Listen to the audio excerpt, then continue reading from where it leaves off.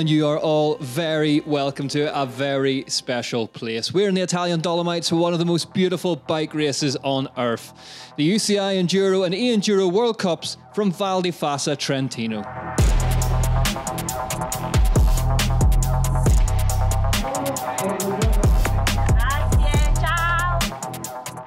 The opening stage of the race was Titans. Just under three kilometres of some of the finest trail known to humankind. A flat out off camber charge across the piste changed complexion to super steep technicality once it hit the woods.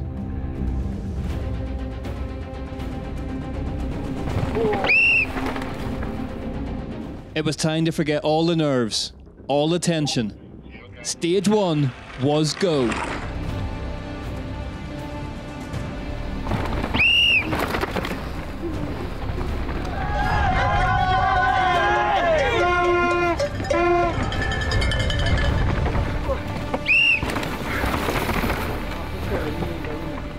Just hands were so sore. It's so rough, like taking the hits, like trying to avoid holes, but sometimes you just have to hit them. Noga Korem went into an early lead ahead of Rocky Mountain race faces Andréane Lanthier Nadeau. Gloria Scarsi had slid out in a turn for a rocky start to her day. Super slippery. I had a little crash on the flat corner. I think I found a good speed after. Trek Factory Racing's Hattie Harnden was also in the wars. A flip over the bars on Titans landed her with bruised ribs and into a world of pain. Amazingly, she still managed to cross the line in seventh. Pivot Factory Racing's Morgan Charre took over the lead, having arrived in Italy firmly in the hunt to take her first overall title. But the woman she had to beat went faster again. Lapierre Zip Collective's Isabeau Courdurier established an early lead in the race by some five seconds.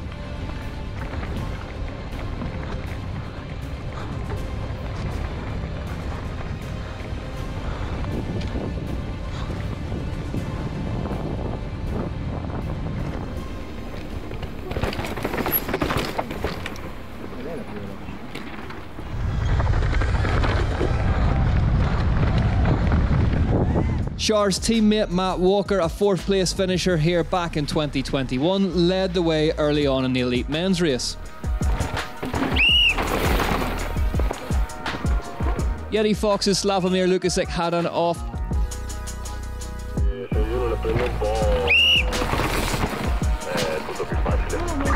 The winner of the last round, Rhys Verner, went third fastest.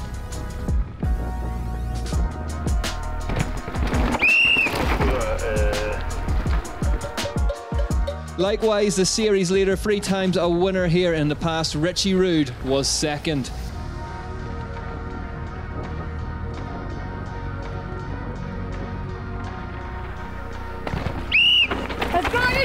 Go, Nishi! Six seconds faster and into an early lead, though, was France's flat pedal wizard, Alex Rudeau.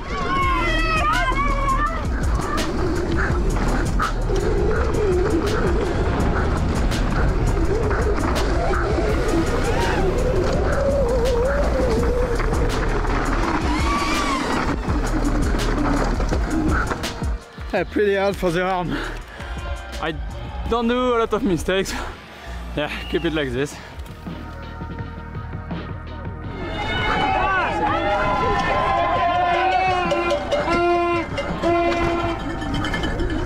After the first stage of the day, then Isabeau Courdurier led the way from Morgan Charre and Melanie Pugin.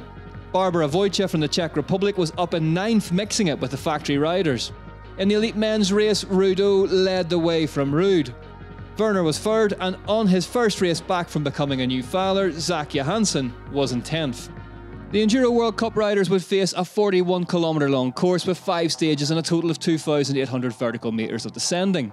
The E Enduro course would add two power stages and a second run through the final stage to add up to a total of 49 kilometres over eight stages. To catch up on all things E Enduro, stay tuned at the end of this highlights package for our coverage of all things electric.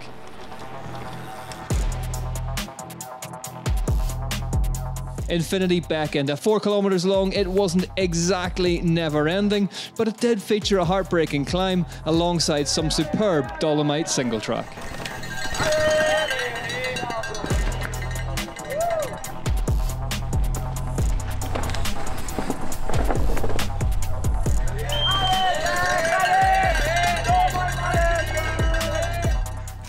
Oh, Hard, mate. Giving it everything, but feels like I'm going nowhere.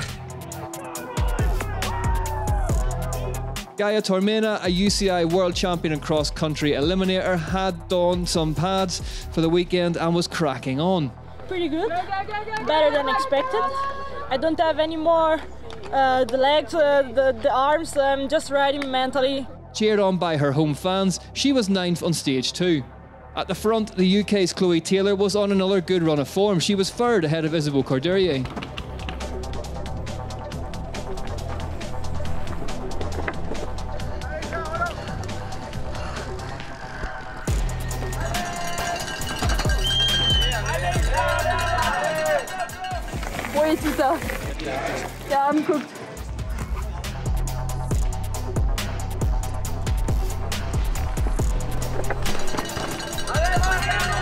Temperatures increased as the afternoon wore on. The brutal climb on stage two was proven to be far from the riders' favourite. I love this place, but this time, please no more. So long and very hard. Not the climb, but after it was very, very hard to push again, push again uh, at the end of the stage. So,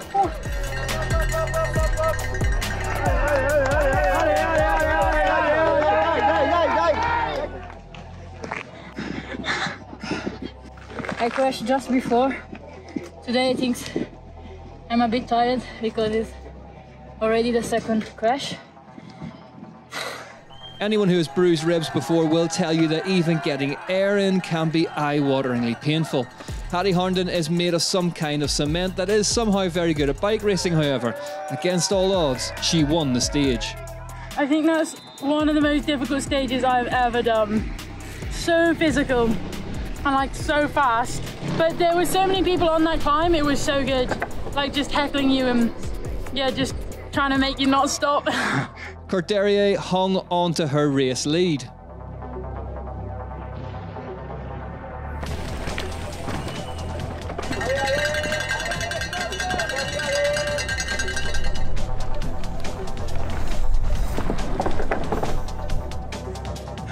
Oh man, that's relentless. Everyone's talking about the big climb, but there's so many small climbs as well. It's like empty the tank and you still need to keep digging, digging, digging, digging.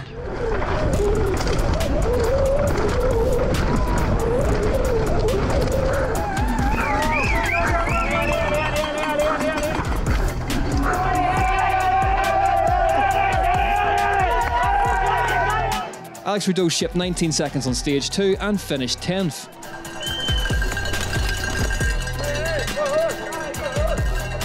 Ahead of him, there was a battle of the Kiwis. Um, quite surprising to be honest. I don't know, just digging deep out there, trying to not have fun in a way, kind of thing. Like if you're having fun, you're probably not trying hard enough. So I don't know, just digging in and trying to force a bit of flow out here. Matt Walker just nudging out Specialized Racing's Charlie Murray to finish third on the stage. Jesse Melamed was ahead of them both for Canyon Collective.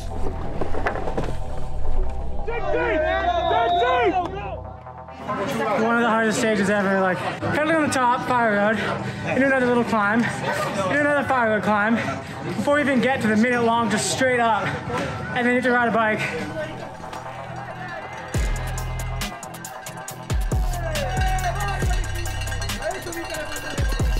But out front, there was no stopping the big man. Richie Rude took the stage win.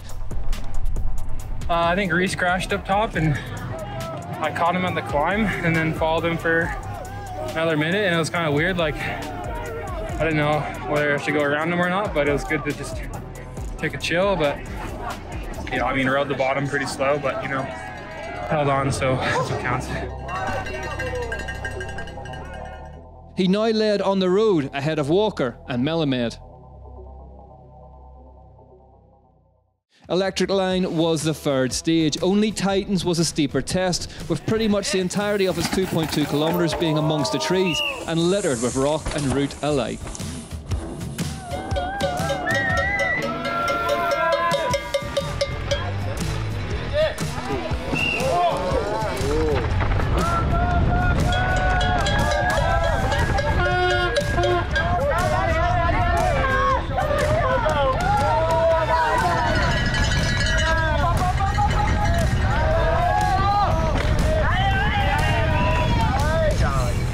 Barbara Wojciech was added again on stage three. She finished the stage in fifth.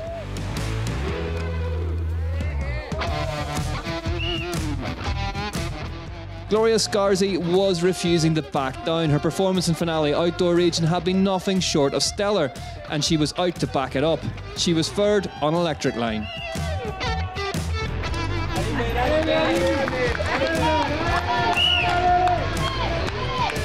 Melanie Pugin was riding well for We Ride Fulgur Factory team. She finished the stage second. Isabeau Courdurier was peerless amongst the trees. She won the stage to increase her grip on the lead of the bike race.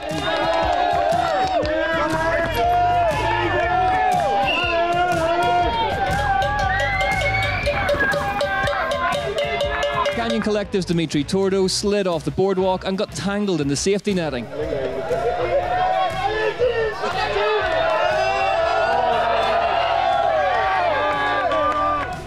Melamed again was third.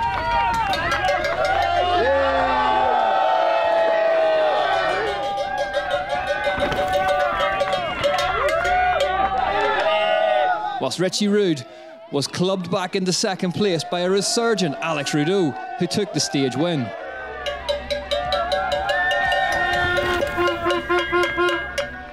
Isabeau Courdurier then led from Morgan Charre by just seven seconds. Melanie Pugin was third.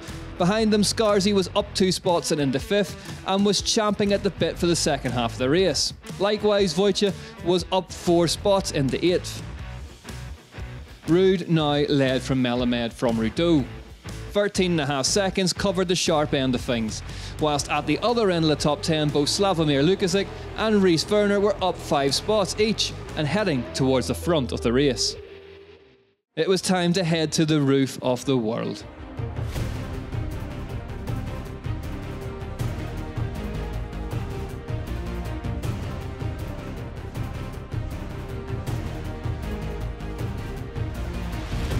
Tutti Frutti has become one of the world's most famous trails and once again back into showcase enduro mountain bike racing at its very, very best.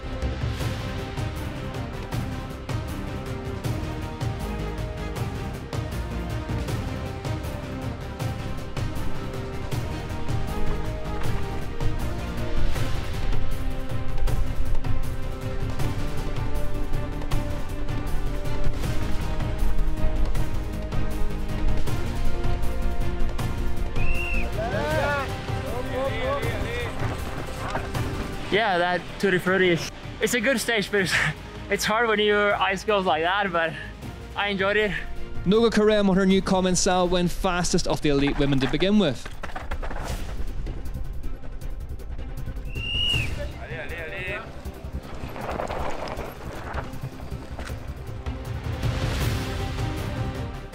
The first woman to displace her was Melanie Pugin, as the wind started to crease on the exposed ridgeline section. Long, very long. I would like to win the stage, but it's all. But when you're riding in a bit of form, sometimes the right stages arrive at the right time. Morgan Charre loves the longer, tougher tests, and she went fastest on Tutti Frutti. It was good. I like finally had my head in the right place. This morning I was like riding good, but I was just yeah too much going on in my head. Yeah, it's like perfect conditions right now. Really physical, but I pushed really hard, so yeah, I'm happy and we'll see. It's full gas on the top, but also very tricky with a lot of hard turns, so definitely just trying to have some good speed and have fun.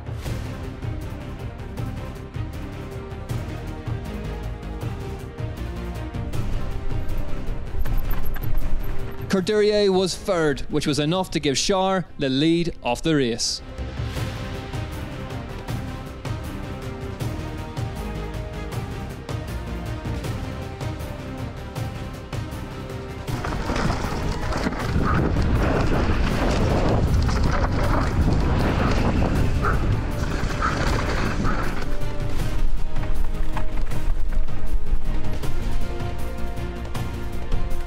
Had a chain off during the last uh, pedaling part, so I pushed my bike, just jump on the bike, continue to pedal, and it came on.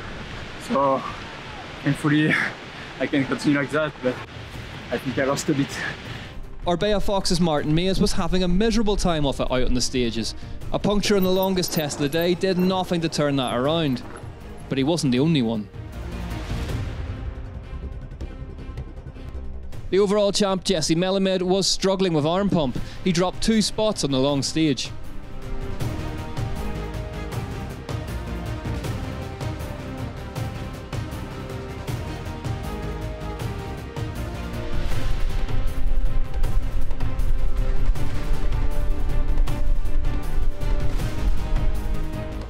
Richie Rude from the lead of the race suffered a flat on Tutti Frutti, a stage which had traditionally been such a happy hunting ground for the American, turned on its master. Charlie Murray, by contrast, was having a stormer and led the way on the Mammoth stage before being pipped back into second place by Matt Walker.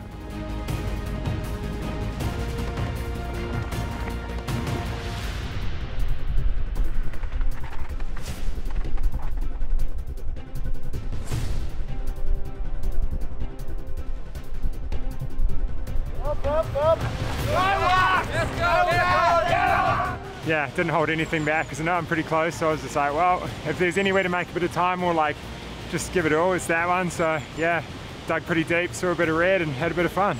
It would turn out to be Pivot Factory Racing's first elite men's stage win of 2023. And what a place to do it. Tutti Frutti had injected a huge dollop of chaos in the elite men's race, perhaps more so than any other stage this season. Matt Walker now led, but Alex Rudeau was in second, having survived Mechanical maladies by 12 and a half seconds, and Richie Rude was now 16 seconds behind his fourth win in the Val di Fassa Trentino. Melamed was fourth, and Murray was fifth. Morgan Charre was out front by just seven tenths of a second from Isabeau Courdurier. Melanie Pugin was third, but the superb Hattie Harnden in fourth, riding through the pain barrier. Just one stage remained. Chiazares. At just 1.2 kilometres in length, it was a short but technical test.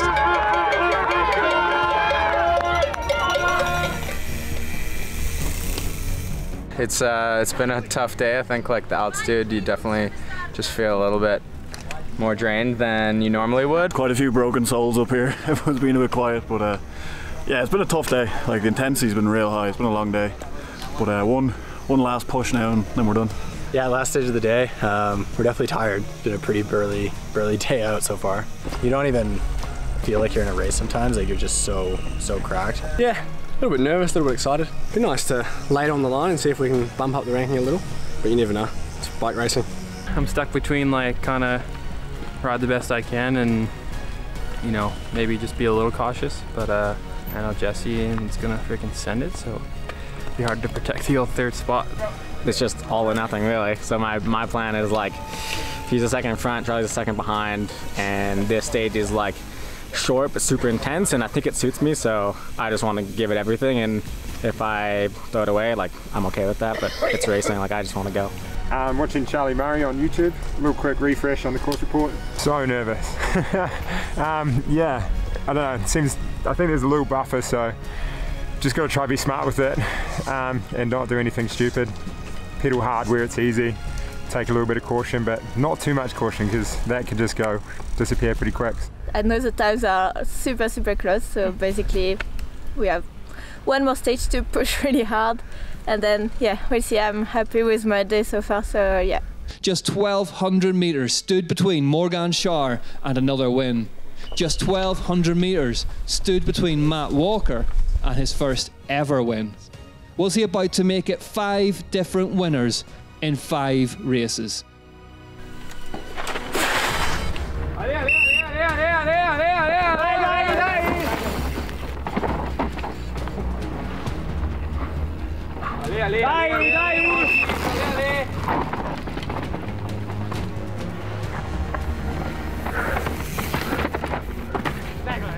Dai, dai, dai! Dai, dai!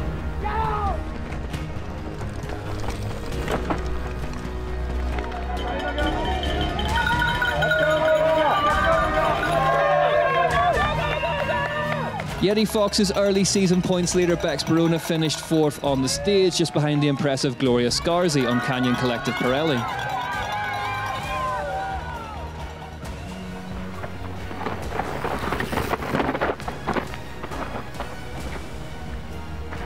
Barbara Wojcia was sixth.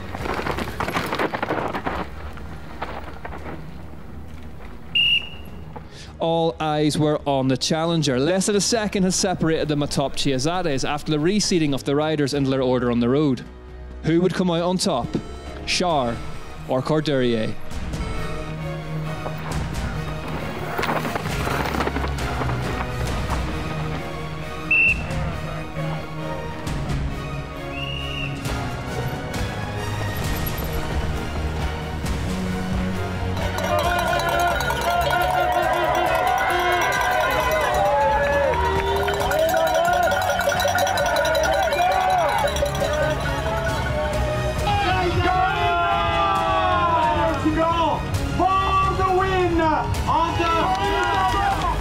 Stage finish, we saw a not unfamiliar sight to fans of enduro racing. Champions have the ability to up their games when the big moments present themselves. Isabeau Courdurier had dominated on Chiazares, carried speed everywhere, and snuck in pedal strokes where others could only dream. She crossed the line nearly eight seconds ahead of a distraught Morgan Charre, who would be forced to settle for second. But it would be Melanie Pugin who would come in third in a Team France 1 2 3 in the overall.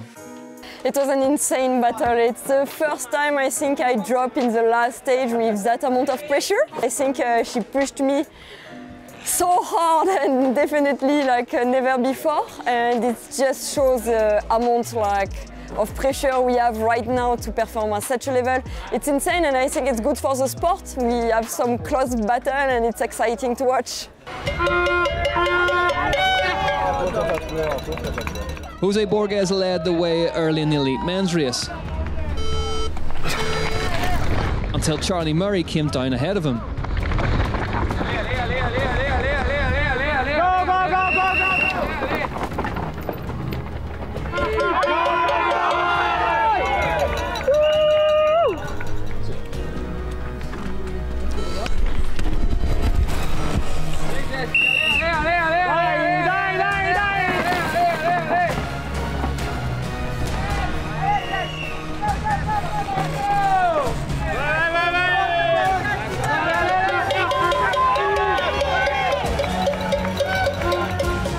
As ever, Melamed laid it all down. But this time, it wasn't enough to beat Charlie Murray. The battle for second was on. Rude dropped first, followed by Rudeau.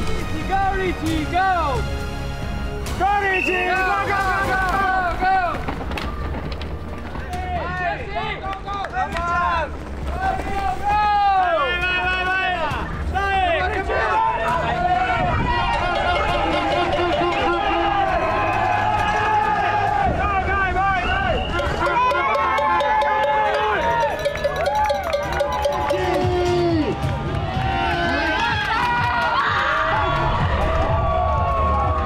As they crossed the line, all eyes looked to the top of the stage. There was one rider left.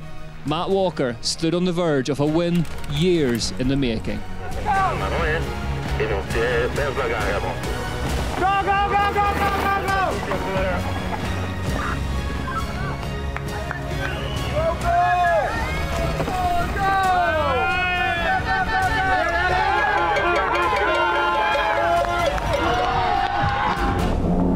Matt Walker took one of the most popular wins in Enduro history when he opened his Elite Men's Wins account. Pivot Factory Racing's head Kiwi was more than enjoying his time in the saddle in Val di Fassa Trentino and attacked from top to bottom. A first win, definitely out the blue. I wasn't really expecting it. I like, I always like the venue here. Um, I know you can't have a bad day when you're riding bikes somewhere like this, so definitely a few things I want to tidy up with my riding, but man, I just had such a fun day. I like really can't complain. Even if I came 50th or whatever, I had a sick day out, so I'm stoked. He took his second stage win of the day by 1.3 seconds from Charlie Murray. Matt Walker is a UCI World Cup winner, taking victory ahead of Alex Rudeau and Richie Rude in third. Charlie Murray was fourth, and Jesse Melamed finished behind his title rival Rude in fifth. Isabeau Courdurier leads the women's title race by 144 points ahead of Morgan Charre. Third spot goes to Bex Baraona, who is just seven points ahead of Hattie Harnden, who now has some time to let those ribs heal. The rest of the top 10 are all tightly spaced, with Wojciech now into ninth. In the elite men's race, Richie Rude is top of the heap in the elite men's rankings ahead of the two Canadians, Verner and Melamed. Rudeau leads Murray behind them, it's Booker, Walker, Lukasik, Denio, and Tordo. And as we head into the mid season summer break, then it is Yeti Fox Factory Race Team who are in control of the Teams Championship ahead of Lapierre Zip Collective and Pivot Factory Racing. Aside from a thrilling Enduro World Cup, there was an almighty battle for the e Enduro World Cup podium places. In a year that has redefined how tough e bike racing can be, Val di Fassa Trentino would raise the bar even higher. Laura Charles took the win on the opening E Enduro stage, with Germany's Ines Thoma separating her from her rival Flo Espiñeira in third. The two title rivals would go on to trade wins on the opening four stages of the day, with only the resurgent race winning Alia Marcellini disrupting their domination with a win on stage two.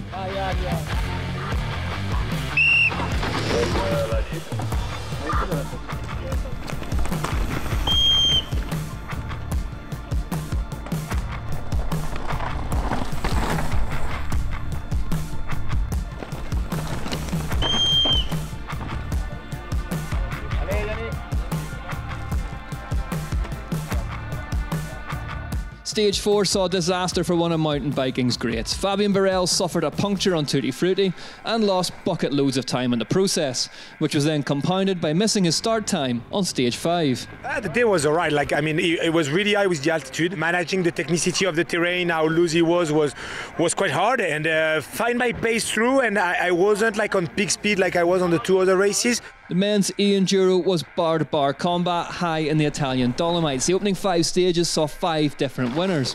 Barel, Pombo, Gilchrist, Marry and Pigeon all collecting a win apiece.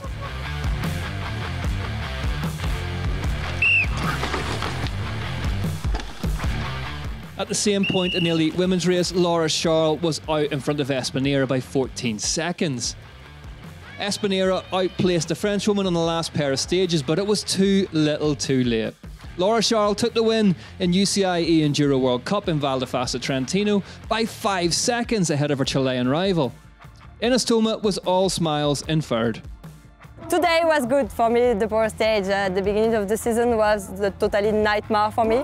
So uh, at this race is one my main goal, like to just uh, take it easy and relax. And uh, yeah, I did it pretty well, so I'm quite happy about this because it's uh, not super easy.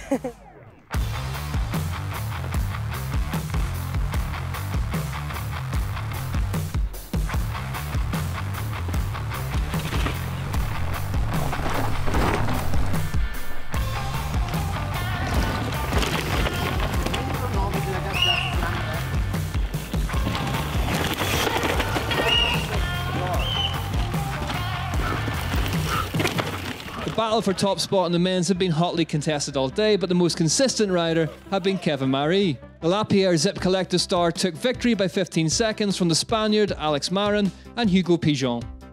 Flo Espiñeira still leads the way in the overall standings, and despite a deflating day in the office, Fabien Barel maintains his overall points leader's jersey in the men's. The UCI Enduro World Cup will return at the start of September in Loudenvielle Peyragudes in France. Until then, thanks for watching, catch your breath, and we'll see you there.